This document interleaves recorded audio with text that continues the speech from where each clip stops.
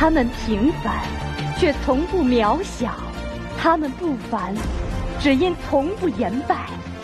跌倒了，站起；失败了，重来。他们的人生因跌宕而完美。我是新月，每晚九点二十与您分享他们的故事。有请主持人新月。观众朋友，大家好，欢迎收看今天的有请主角。今天节目一开始，我先跟大家伙讲一个故事。故事的主人公和梁朝伟是发小，从小呢，他的梦想就是成为一名演员。有一次啊，他拉着梁朝伟一块儿去报考演员培训班，结果那陪考的梁朝伟被选上了，他却落榜了。此后，在十八岁到二十八岁的人生当中，他都是在。跑龙套当中度过的，苏乞儿当中客串路人甲，天龙八部当中饰演卫兵，在射雕英雄传当中，他的角色一出场就被梅超风一掌毙命。他的名字我们都很熟悉，周星驰。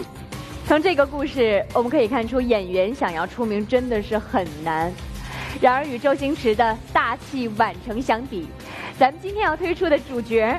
可谓是幸运儿了，在电影《心花怒放》当中，他当仁不让的担当主角，不仅与黄渤、徐峥飙戏，还拥有自己的专属海报，片酬更是高达六位数。这个演员究竟是谁？他又有何过人之处呢？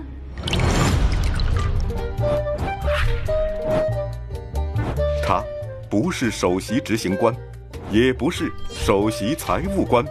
而是首席铲屎官，他创建了一个疯狂动物城，鹦鹉、羊驼、宠物狗，许多动物在这里与他结缘，更被他培养成影视圈里的大明星，屡屡登上大银幕，与影帝影后飙戏，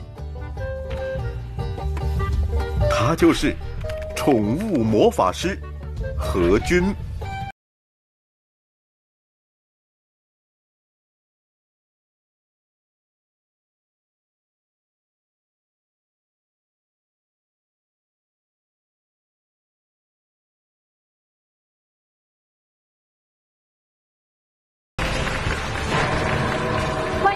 君。谢谢大家。那你先跟大家自我介绍一下吧，好吗？呃，大家好，我叫何军，呃，是一名宠物训练师。这个是我的搭档，呃，他叫果汁儿。表演的搭档还是跟你一块儿去训练其他宠物的搭档？表演的搭档。哦，他演过很多的电影。嗯。之前我们看到的《心花怒放》，啊，一四年的。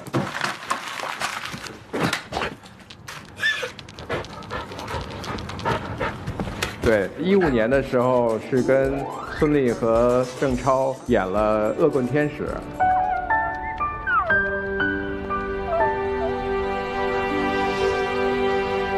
你好，我不好，我被汽车撞了，反倒被人说是碰瓷。我妈都跟我断绝了母女关系，工作也没了，就剩下这些。奖状、证书、学历证明。哎哎，你干嘛呢？你你你，走！气死我了！哇，都是他。你看看人家合作的都是大明星，对，真是。对，都是大咖。对，应该金鸡百花奥斯卡应该有个最佳宠物出镜奖，应该就对，希望未来能够有吧。嗯，因为以前动物好像都是道具，都是被归到道具组里。但是现在，其实我们都是签的电影演员的合同。我不太看得出来哈，就是它是哪个品种，有点像京巴嗯，中华田园犬。呃，就是没有品种，呃，因为它是一个小串串狗，然后也是一个被我们救助的一个流浪狗。所以你看看它这个命运，本来是一条流浪在街上无人问津的、贫寒的、凄苦的小狗，人现在一下身家不得了啊！我听说他签那个演员合同的时候，那身家都六位数了。等一会儿我算算，数一数，数一数，千万。十万，哎呦，以十万计是吧？对，我的妈呀！似乎他出来之后一直很安静、很听话，他到底有什么才艺，对不对？对啊，他凭什么值六位数啊？我不知道大家能不能感受到，就是这种环境，他能够很安静的出场，其实就已经表现了他的宠辱不惊哈。对，见过大场很多。的狗其实到这个环境里，我想一定会紧张，我都会紧张的。呃，所以其实他是做了非常多的环境训练，他去过很多的不同的场合，真的，我觉得他是见过我。也在想，他都见到我们三位大腕儿了，怎么一点压力都没有呢？是吧？要不你展现一下吧，好不好？呃，看看他最最基本的训练。这边这儿有一个小的点啊，这是走位的点，来，我这看，我这儿去，哟，呃，去，哇哦，哇哦，一定踩得非常准。嗯，天哪。嗯！，good boy。因为很多的时候，我们训练员是不能够在镜头里面的，嗯。尤其是这种大场面的，所以一定就是远距离的指挥。但是他要去到那个位置上去做动作，去，过这去，对，好，sit，good boy，down，好，哦，好，过这儿来啪啪，啪啪，啪啪，可怜吗？楚楚可怜的眼神儿，对，这个是对走走心的感情戏。让他看着我可以吗？我们会有一个目标板然后这个这个片儿只要移动，他的目光就会跟着移动的。哦，这儿，嗯，果汁儿，这儿，啊，他真的看着我了！对哎呀天哪！对，就有 OK 的信号，他才会离开。哎，他是男生还是女生啊？她是女生，啊，但是啊在第一部戏里头，其实那个就要求他反串公狗，有一个镜头就要求他抬腿尿尿。哦，然后那怎么办呢？其实只要他们行为能够达到的，我们都能够通过训练的方式能够表现出来。这是违反狗的天性的。它又有动作，但没有不是真正的行为。就是它把那个腿抬起来，有这个。对呀，但是没带道具。那哎，我们没事，这都是道具，随便用活道具。请一位老师来吧。来来来，马丁，知道，你 你那么挺拔，你特别适合当杆儿，好像健身杆儿来。对，就就站在这儿就好啊。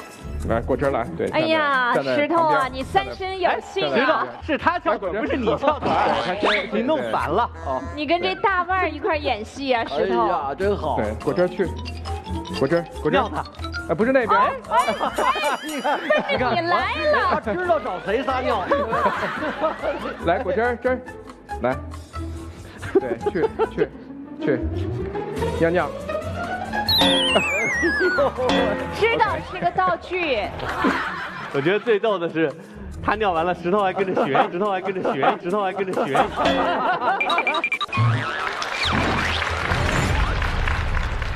摇着小尾巴，迈着小短腿儿，两只圆溜溜的大眼睛，还时不时的卖个萌、撒个娇啊！这呆萌可爱的表情也真是没谁了。人家拍过广告，上过电视，拍过大电影，影帝黄渤抱过他，啊，娘娘孙俪亲过他，甚至自己还走过红毯呢。在动物演员界，这果汁儿可是名副其实的大明星。不过说起来，你可能绝对想不到啊，果汁儿虽然心路是顺利的，命运却颇为坎坷。故事还得从二零一一年的五月份开始说起。这一天早晨呐、宠物训练师何军去一个宠物店做培训，在店门口呢，何军看到一个啊纸盒子啊，他把这个纸盒子拿起来，就想扔到那垃圾桶里去，突然感觉这里边有东西在动，而且打开一看，居然是一只蜷缩着身体的小狗。这只小狗啊是又瘦又小，瑟瑟发抖，看起来也就不到两个月的样子。这身上的毛都打结了，浑身看着也是脏兮兮的。何军把它带回家之后啊，给它洗了个澡，重新打扮了一下，结果发现这脏兮兮的小黑狗竟然变成了一只小白狗。何军还给它起了一个很可爱的名字——果汁儿。那时候何军在做宠物培训，这果汁儿呢就和其他的小狗一块儿参加了培训。哎，没想到这小果汁儿啊是一只超级聪明的小狗，记忆力特别好，学东西也很快，起立呀、走位呀、跳圈等动作是一教就会。在许多的狗狗当中，果汁儿很快就脱颖而出了。二零一二年的八月份，聪明的果汁儿迎来了他的第一部电影处女作《毛线头》。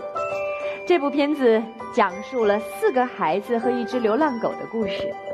果汁出色的演技很快就得到了认可。电影上映之后啊，很多的电视节目、商品广告都找上门来了，邀请果汁儿参加演出。就这样。果汁儿从一个被抛弃的流浪狗变身为娱乐圈的新秀。二零一四年，一个剧组面试宠物演员，果汁是轻松立刻众多的候选者，被导演给选中了。大家知道果汁拍的是哪部电影吗？就是宁浩导演的力作《心花怒放》。据说啊，试镜的时候。果汁在镜头前展现出的表情和眼神啊，瞬间就征服了要求完美的宁浩导演。在拍摄当中，果汁呢主要的合作对象是剧组的铁三角了，男主角黄渤、徐峥，还有导演宁浩。聪明的果汁儿很快就成为这个铁三角的开心果。原本有洁癖的黄渤啊，居然不介意果汁掉毛，这一有空啊，就把这小果汁儿抱起来。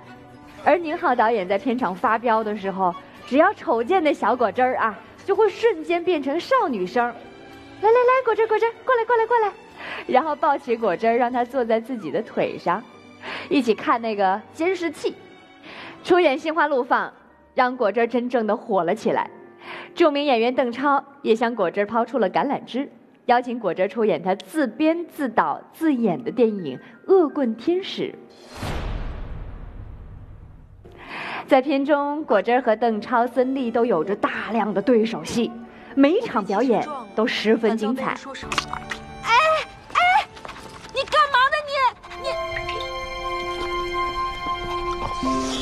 短短几年过去了，小小的果汁儿一跃成为了中国狗演员的 number one，签约不断，自带流量，实现了真正的草根逆袭。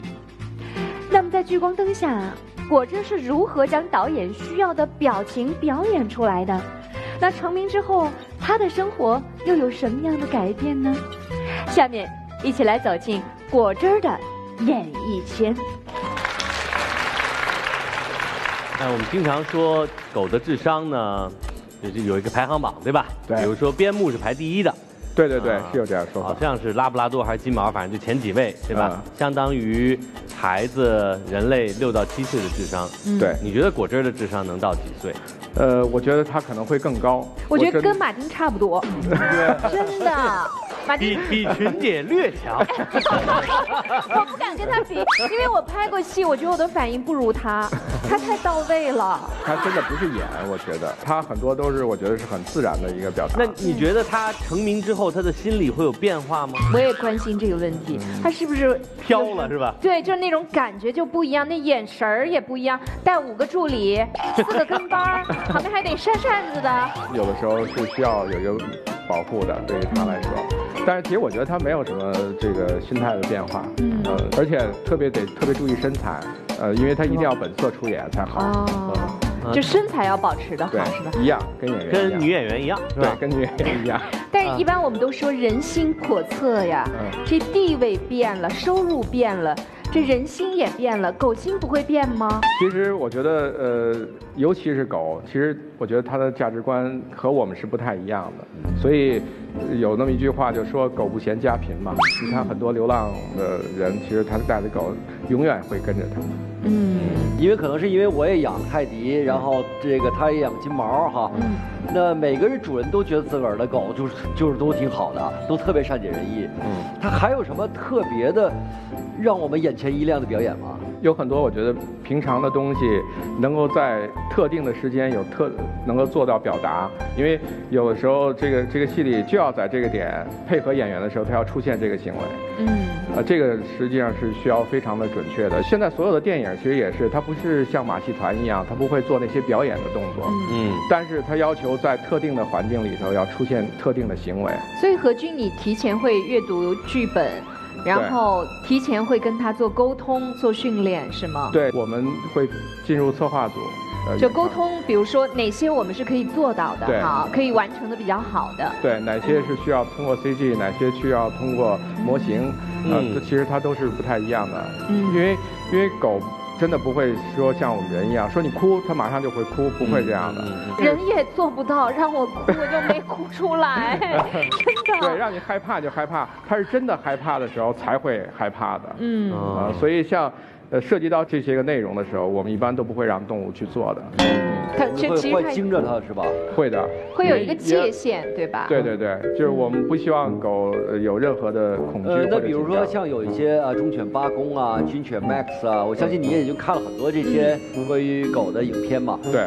怎么演的呢？呃，我我觉得您提这个问题特别好。其实这也是为什么我们一直说主张用呃流浪狗来做这事儿。电影的影响力是非常大的。嗯其实我们现在所有养狗流行的这个品种都跟电影有关。嗯你看最开始时候大家记不记得灵犬莱西？嗯所以很多人都养松木，然后幺零幺斑点狗。大家都都养大麦町，然后零下八度的时候，大家都养哈士奇，然后忠犬八公的时候都养秋田，然后导盲犬小 Q 就都养拉布拉多。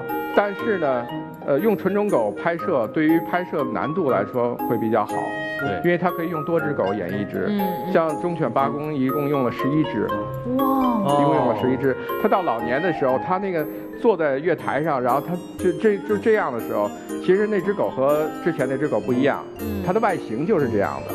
那像那个导盲犬小 Q 一共用了三十多只，哦，零下八度是用了一百多只哈士奇。但是用流浪狗拍摄的话，就要求对训练特别高，因为它从头到尾只能它一个人来演。是，嗯所以可见，就是有时候狗也是有替身的，对吧？还有，而且有好多个替 身。是这样，会不太容易看出来的。它有一定标准的长相，哦然后就在里面有挑长得像的，还是能挑的非常像的这种。要整容吗？他们？其实宠物有美容的，有的时候会有有一点染色和修饰的。稍微让它们更接近一点。对，像呃呃导盲犬小 Q 腰腰窝上有一个这个梅花的烙印，嗯啊、那个就其实就是做的。做的。何军，我知道除了这个果汁之外，其实你还有很多不同品种动物相伴在身边。哇，你什么都训呐！对，哇，嗯因为其实我觉得所有喜欢动物的人，可能都有一个愿望，要有一个属于自己的动物园儿。啊，动物园啊 那这样，我们能不能把你那个训练营里的小动物们请到台上，一一和大家见识一下？好啊，好啊，好啊。马上要上场的是羊驼，是吗？对，哦是羊驼。特别可爱，来，哇，它叫什么名字啊？它叫朱迪，朱迪，然后出生在什么地方？北美会比较对，呃，一共有十五个品种的羊驼，十五个。哦对，不同品种。帮我跟他拍一张走，。咱俩拍去。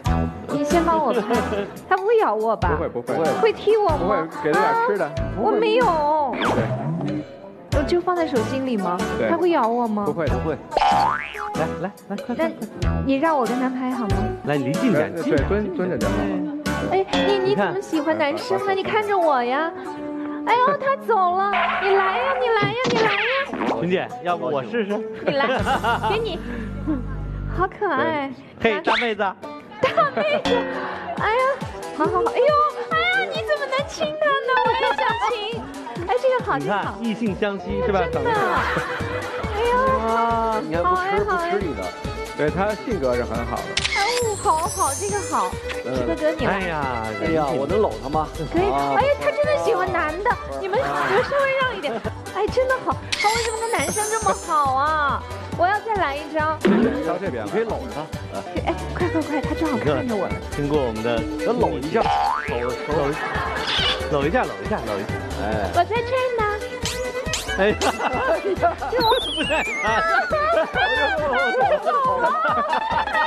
太难听了。他对女生这么美丽。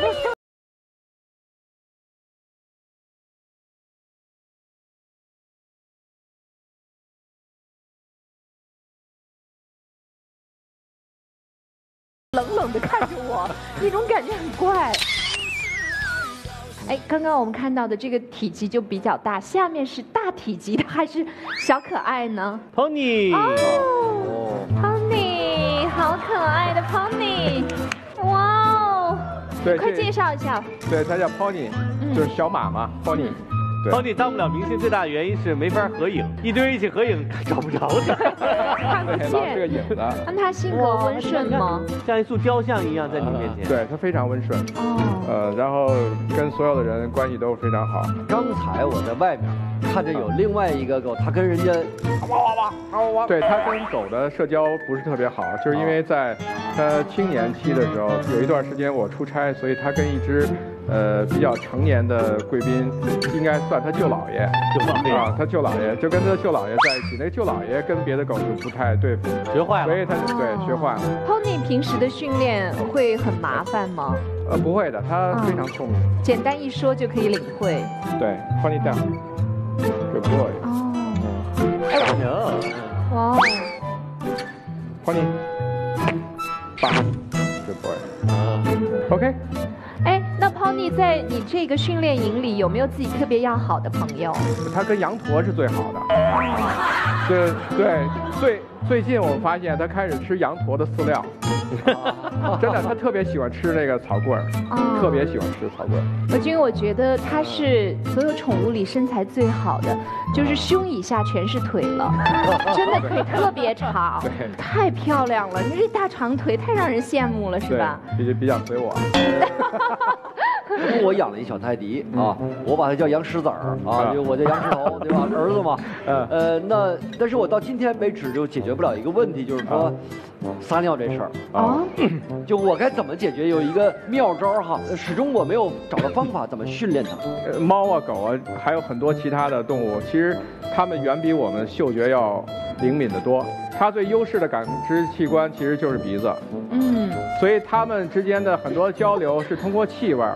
那气味从哪儿来啊？就是从排便上来。哦所以其实你看，一个狗去电线杆子去尿点尿，然后另外一个狗过来闻一闻，然后闻完了以后，它再会尿一点尿。它们有很多信息就是这么传递出去的。其实这个对于它们来说很重要的生活，所以它有很多的时候可能是情绪上的表达，也可能是因为您出差很久了，所以它想您了。然后有的时候它可能会，有的狗还会在床上尿尿。对啊，我不也好意思说，在我床上尿尿，去床上尿尿打不得的这个生气。对，有可能就是想你了。然后有很多的时候，比如说他尿尿了，然后我们去处罚他，越处罚，其实他越想跟你说什么。每天你在家里头唯一一定要去的地方就是床上，嗯，所以他就去床上给你发这个短信。也就是告诉你他的存在。解决方法呢？呃，舒缓压力，看看生活上有什么变化，然后尽量给他一些个缓解压力的方式，然后可以给他一些啃咬的玩具，因为啃咬是可以释放压力的。在你训练过的这么多动物当中，你觉得哪一个动物是最难的？雪貂是比较难的，因为它的视力呃非常的近，呃，所以近视眼儿。对，而且它只能看呃移动的东西，静止的东西它就看不看不到。我好奇哈，像这种越稀奇古怪的，你越想去尝试训练吗？呃然后你为什么要去做这个事儿呢？这些动物其实我们并不是训练，其实更多的是交流，因为你只有交流了，你才能发现它们这么聪明。啊，啊，其实我们在整个的项目这种推进这个行业推进里头，我们不希望训练动物，我们更多的是希望能够让他们去教人。我们让他们融入我们的社会的时候，你教他实际上是一个很难的事儿。对，但是如果你能够理解它的话，就会避免到很多的问题。然后另外一块儿呢，我们做了一个叫“疯狂动物城”，嗯，实际上就是一个移动动物园的概念。我们可以把呃所有的这些动物带到任何的场地，这些动物都是呃救助还是你买的呢？大部分都是救助，比如说鸵鸟，是我们从菜市场买买来的，菜菜市场，呃，真的是广州的那个那个菜市场买回来的。训练的鸽子其实也是从路边上那个那个菜市场买回来的鸽子，呃，然后还有就是自己飞过来的。很好奇，因为有些动物，我觉得感觉都是不可能完成的一个任务，但是你们把它训练的特别好，是不是中间有一些秘籍呀、这其实就是我们的训练方法，嗯我们叫正向训练，嗯，就是它最核心的就是奖励正确的，忽略错误的。嗯对我们从小被教育的过程是奖励正确的，处罚错误的。对，啊，所以我们会对我们认为错误的行为进行处罚，嗯但是对于狗来说是完全行不通的，因为它们和我们之间的行为谱是不一样的。呃，比如说吠叫，有的狗呃见到有人路过，它就会吠叫。就是因为它们可以像门铃儿一样吠叫，所以它们才进入了人类社会。如果那些陌生人来了以后，这个狗不叫，这些狗一定早就被淘汰掉了，所以它不会觉得叫是一个错误。如果你处罚它的话，它只会觉得我叫的不够好。所以其实正向训练，其实现在也越来越多的应用到孩子身上，没错，包括团队管理等等都会用到。嗯，孩子和我们的思维是不一样的，我们不能够用我们的理解去教育他们。像你说跟动物的交流会有助于心灵，是吗？对，对吧？那他们家也会，是不是？比如说有一开门课，可以有让一些抑郁症啊，让一些人可以缓解呀。其实我觉得这这个其实，在在医学上好像已经被证实了。对，就包括有些自闭症的孩子，他可能对其他东西都不会感兴趣，但是有可能会开始亲近动物，然后他的行为开始有所改变。嗯，其实我觉得我我们存在意义可能更多的是改变人，而不是去改变动物。嗯，对。从流浪狗逆袭为动物明星。可以说，果汁儿的脱颖而出离不开宠物师何军的悉心调教，而何军对动物爱的教育这样一个理念，也让我们对人与动物的关系有了更为新的认识和思考。一只小小的宠物狗能够得到观众们如此的喜爱，也表达了大家对美好世界的某些期待。生命平等，动物同样需要被爱。与何军一样。咱们接下来的这位主角，也是一位爱动物的达人，他建造了自己的鹦鹉王国，甚至很多人亲切地称他为“鸟叔”。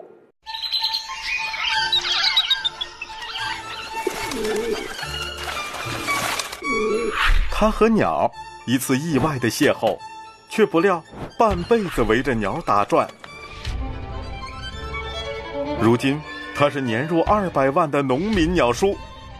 升国旗，骑自行车，背唐诗，他调教过的鹦鹉，个个精灵古怪，身怀绝技。他，就是来自河南洛阳的乔建鼎。大家好，我是来自洛阳的乔建鼎，今年四十六岁。哦，欢迎您，乔先生。这个鸟是您带来的，您训练的是吗？对。这个鸟叫什么名字呢？它的名字叫玛丽。玛丽是女生啊？对，她是个女生。嗨，玛丽你好，她会跟我们打招呼吗？嗨，玛丽你好，我是马丁。你哥，你哥。把手举起来打个招呼，来。哦。啊，他用手打招呼啊。你哥马丁在这儿呢。那他会叫马丁哥吗？哎呦，哦，马丁哥。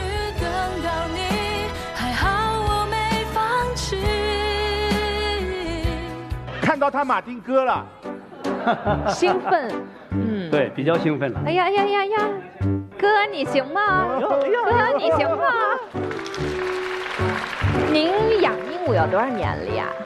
我是从九三年开始接触鹦鹉，到现在有二十三年了。我听说你还给鹦鹉办培训班，有多少鹦鹉来参加你的培训班？你又教他们一些什么呢？这个鹦鹉呀。还有很多才艺，比如说语言，你像这些动作，有技巧类的、脑洞类的，等等等等很多节目。所以说呢，把自己的宠物培养的有才艺一点。我觉得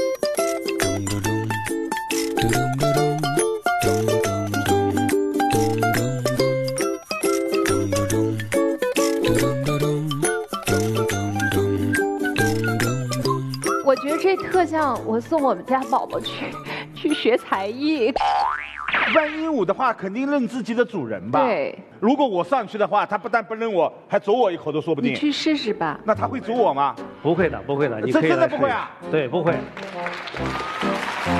嗨，马丁弟弟。你可以，你可以喂喂它。啊。马丁弟弟你好。玛丽妹妹。没事没事。哦耶。他自己还多出来了，那怎么着？你还让人连壳吃啊？马丁老师啊，消化不良。你的妹妹真的比你聪明，智商很高。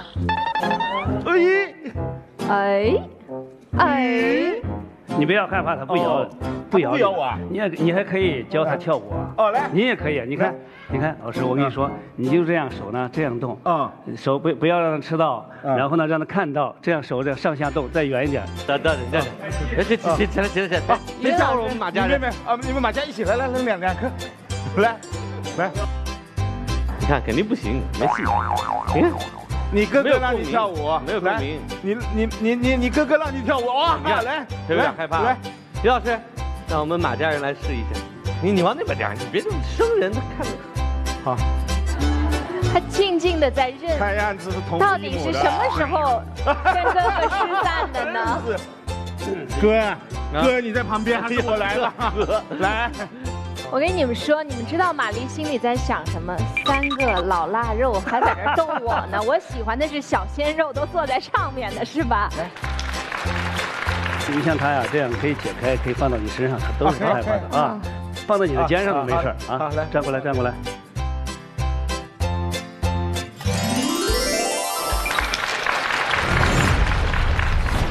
看来这和鹦鹉近距离接触没那么简单呀，更别提跟他一块跳舞了。乔建鼎的功夫还真是不一般。说起乔建鼎，在河南那儿那可是鼎鼎有名的，人送称号“鸟叔”。鸟叔家里绝对是鸟儿的乐园了，有几百只鸟呢，什么八哥、鹩哥、画眉、黄雀、鹦鹉，是你唱一句，我鸣三声啊，热闹极了。在鸟叔乔建鼎的眼里呀、每一只鸟都有各自的特色，有的呢爱唱歌，有的爱运动，有的呢爱调皮。鸟叔常常是被气得哭笑不得。据鸟叔说啊，他的这些小伙伴最调皮的就是小灰灰。小灰灰是鸟叔养的第一只鸟，当时那可是花去了鸟叔大半年的工资啊。灰色的羽毛，红色的尾巴，非常漂亮。鸟叔对小灰灰真可谓是一见钟情啊。但是初来乍到的小灰灰对这个新家好像不咋喜欢，天天上演着大逃亡的攻略。第一次玩消失，那可真把鸟叔给吓坏了。不过是转身半个神儿的功夫啊，哎，鸟架子上空空如也了。鸟叔在屋子里转了一圈，也纳了闷儿了，我怎么没看着鸟在哪儿呢？这门窗都关得好好的，怎么就消失了呢？再仔细检查了一遍，才有了重大发现。纱窗的角落破了个大洞，窗台边上竟然还有一坨新鲜的鸟屎。毫无疑问了，这家伙越狱了。鸟叔啊，就顺着后山找，隐隐约约听到有个声音传过来：“我是小灰灰，我是小灰灰。”循着声音过去一看，嘿，还真是那小鸟啊！原来啊，这小灰灰跑是跑出来了，一着急又把自己的链子给缠到树枝上了，于是就可怜兮兮的在那儿叫着，等着主人来救它呢。看到鸟叔之后啊，它似乎也知道自己办的事儿不太地道，还给主人卖萌呢。I love you, I love you，惹得鸟叔是哭笑不得。从此以后，这小灰灰就再也没有偷偷溜出去过了，逐渐和鸟叔成了形影不离的好哥们儿。有一年冬天，这鸟叔带着小灰灰去参加一个春节庙会，天非常冷啊，零下七八度呢。表演场地又非常高，在七楼的天台上，小灰灰就表演那个滑滑梯啊，从上往下滑的一瞬间，这一阵狂风刮下来，就把小灰灰给卷走了。鸟叔追到了楼边儿，根本就不见了小灰灰的踪影了。鸟叔心里郁闷不已呀、觉得自己可能再也见不到他的小灰灰了。你说陌生的场地，而鳞次栉比的高楼大厦，阵阵呼啸而来的狂风，这小灰灰怎么可能找得回来呢？乔建鼎在天台上默默地坐了一个多小时，正伤心难过呢，突然听到有人在喊：“啊，乔老师，乔老师，你的鸟自己飞回来了！”乔建鼎不可置信地跑到楼下一看，这小灰灰正在艰难地扇动着小翅膀，穿过狂风，一点点地挣扎前进。扑到主人怀里的那一刻，被冻得瑟瑟发抖的小灰灰，再也没有一丝力气了。只能用小脑袋瓜轻轻地蹭了蹭主人的脸。那一刻，乔建鼎满脸是泪呀。对于乔建鼎来说，这些鸟已经不再是宠物，而是他最为亲密的伙伴。他们同吃同住，一起训练，一起表演，组成了一个充满爱的大家庭。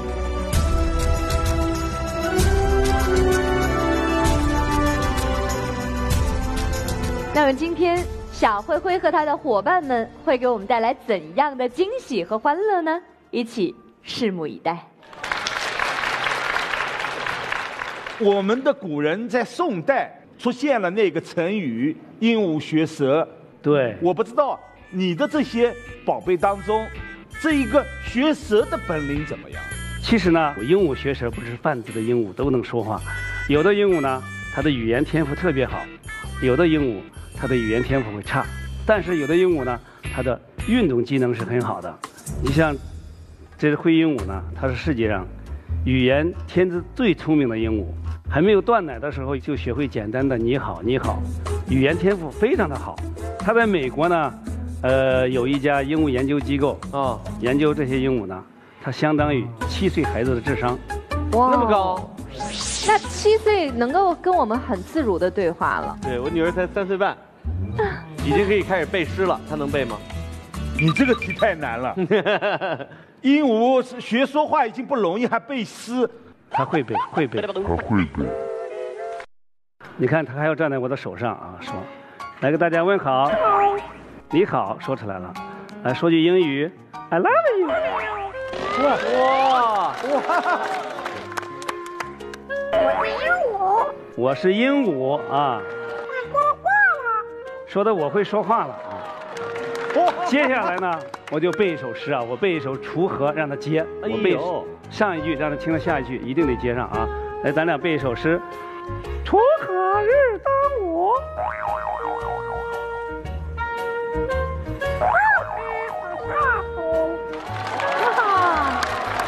听着第三句啊，谁知盘中餐。怎么样？太厉害了！像这样一首诗，你要教他多少时间，他才可以学会啊？至少得半年以上。然后呢，还得让他给我能互动，他能听懂我的意思。您为什么他能对诗呢？他就是努力的听着你的声音，他知道你说的什么内容，然后他接着往下对。这样的鸟呢很少，有的有的鸟也不常见的。锄禾日当午。你看我教的时候用的都是女声，这样呢教出来的鸟呢，说话声音清晰，嗓音甜美。哦哦，这个讲究啊！哎，也就是说教什么他就会。你要是跟他说干啥呢，他也说干啥呢。那肯定是。哎，我们有一个朋友家里头特别好玩，他们家有一老阿姨，特别害怕客人在他家吃饭。每一次来客人，他说：“你刚刚吃过饭到我家的吧？”结果这鹦鹉就学会了，每回我去，他说：“你刚刚吃过饭到我家吧？”我说：“我吃过了。” 我知道玛丽是很厉害的，上过很多大节目，对吗？对，她是个老演员。据说她能升旗，是吗？对。来来来，看一看啊，升起来。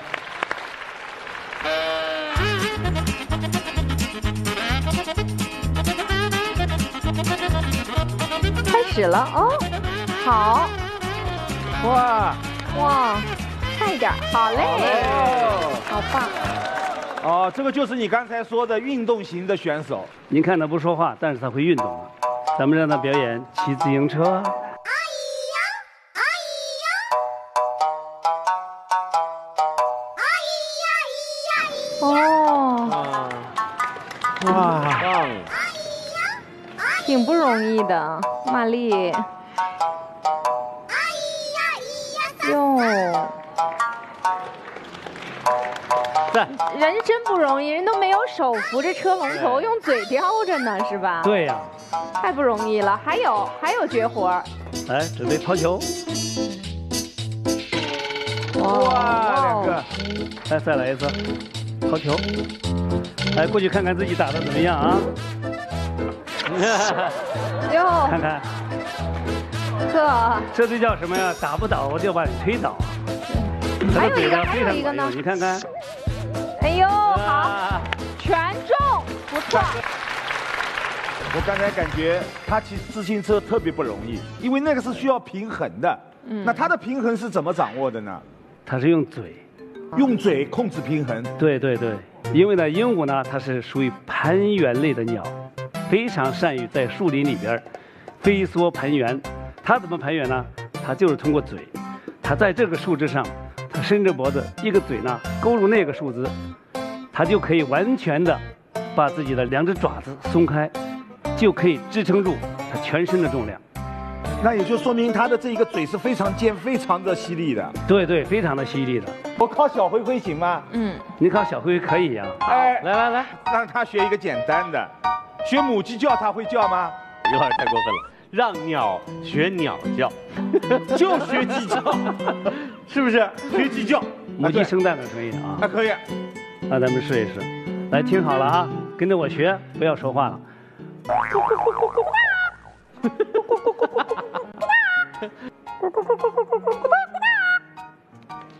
母鸡生蛋没有？再来一个，我觉得鸟和鸡至少都还是有翅膀的、有毛的。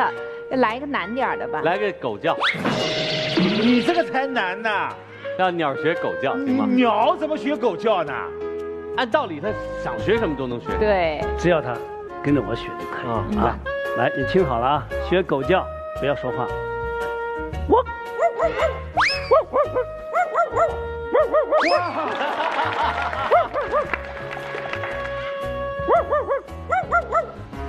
哦。乔大哥啊，我说句公平话，他的狗叫比你的狗叫叫得好。青出于蓝胜于蓝。不，他学得像，真的。我听说会说话的鹦鹉其实价格是很高的。呃，你能不能透露一点行情和信息？我不知道我买不买得起。像这样的，严格来讲，鹦鹉是不能卖的，哦。它是国家二级保护鸟类。哦，那我怎么办呢？那你就只有看我玩了呗。我能冒昧的问一下，像您这样，呃，做培训班鸟类的培训班，一年大概能有多少收入呢？收入一百万、两百万还是可以。哦。但是呢，就是说我现在做的不但是培训班，而且呢，整个鹦鹉的产业，包括它生孩子、饲养，包括它的奶粉、饲料生产，还有医疗救护、哦。才艺培训，全部都做起来。而且产业化了。所以说，你说一百万、两百万，那算啥？又投进去了。你也不要谦虚，这也就说明你把鹦鹉已经做成了一个产业，而且一年的收入就在两百万左右。那要继续的投入呀。你比如说医疗器械呀，都是相当相当贵的。你像在全国宠物医院，很多都是一只猫狗的、一只鸟的很少很少。这个鹦鹉如果生病了以后怎么办呢？它到哪去看病呢？那治病呢，有几种方法：吃药、打针、打点滴，跟人一样。这打点滴，你开玩笑，找得到它的血管吗？它的血管呢，我给你模仿一下啊，就在腋窝下面。哦。啊，输液的时候，它的血管血管呢，就像一根线，非常非常的细。因为树叶呢，它不但能医治病啊，而且还能给它补充能量。这一点是好多不能再吃、不能再喝的鸟，从死亡线上都被我救回来了。今天的节目真的是妙趣横生啊！无论是果汁儿还是小灰灰，都是那么的机灵、乖巧和可爱。动物一直都是我们人类最好的朋友，它们给我们带来了快乐，带来了温暖，也带来了心灵的慰藉。正因为如此，很多人都选择养宠物。但是在你领养宠物之前，一定要做好准备，因为再可爱的动物，也会调皮，也会生病，也会老去，也会给你增加一些负担，带来一些麻烦。所以在感受宠物带来的温暖的时候，请你一定也要给宠物一份耐心，一份爱，不离不弃的陪伴，才是真正的爱。感谢收看今天的有请主角，我们下期再见。他是一位足迹专家，简单测量就能心中有数，一枚脚印就能锁定真凶，他就是董艳珍。动作娴熟，调音精准，他是一位钢琴调律师，摄影画画，兴趣广泛，如此多才多艺的他，竟然是一位盲人。他就是陈燕。